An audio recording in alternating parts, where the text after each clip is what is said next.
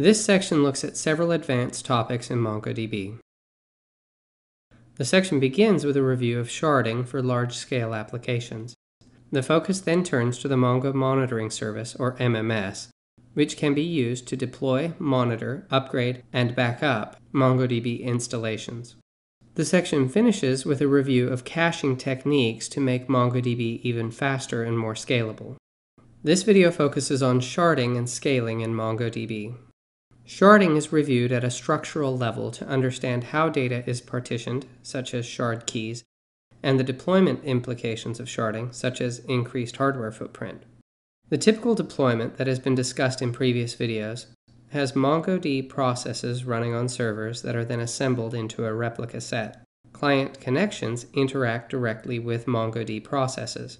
This scenario is straightforward and provides some load balancing among nodes in the replica set. In a sharded scenario, several aspects of a deployment change. The first, and most notable, is that the client no longer communicates with the MongoD instances directly. Instead, a new component called MongoS is introduced.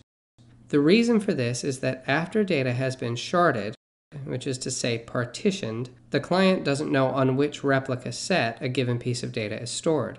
The MongoS instance is designed to route queries to the appropriate MongoD processes.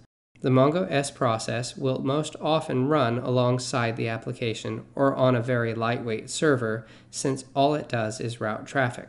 MongoS knows how to route queries thanks to the config servers. These store metadata about sharded data. It is recommended that at least three config servers be deployed for reliability. Each config server contains the same information. A complete replica set is now required for each shard. This provides for reliability and failover at a data level. The config servers will work to ensure an even distribution of data across shards.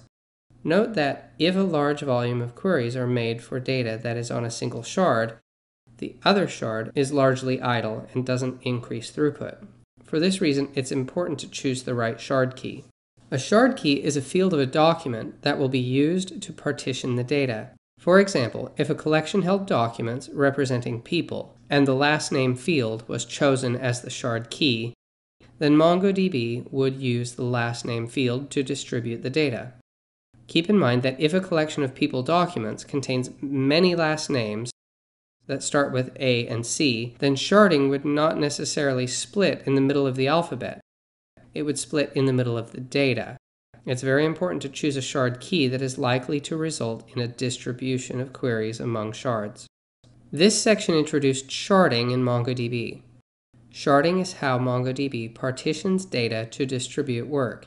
Data is segmented based on a shard key. The number of servers required to set up a sharded cluster is much higher than what is required for just a replica set. The next video will present a sharding example.